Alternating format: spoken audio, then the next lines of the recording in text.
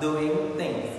Before we're going to learn together, please pray with me. Invite the Holy Spirit to be with us. Let's pray. Father in heaven, thank you so much for the time that we come back to study together. Give us strength and wisdom to learn together. Father, we pray in the name of Jesus. Amen. Yes, so don't waste the time. We're going to learn vocabulary all together. Hello everyone, so right now it's time for you to study the new word or we, we can call phrase. So let's start. Clean his desk. Wash her hands. Watch the movie. Walk the dog.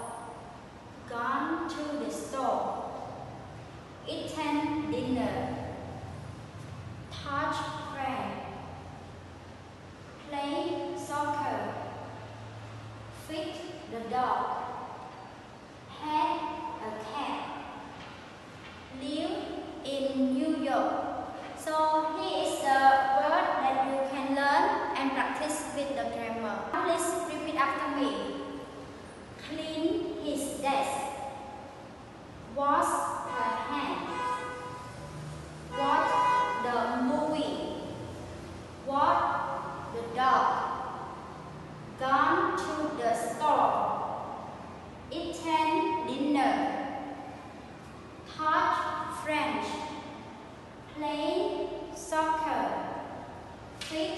The dog. Had a cat. Live in New York. Thank you. Now, let's go to the conversation. Who's she? She's my aunt. Where was this picture taken? That was taken in Rome. She's moving there. Really?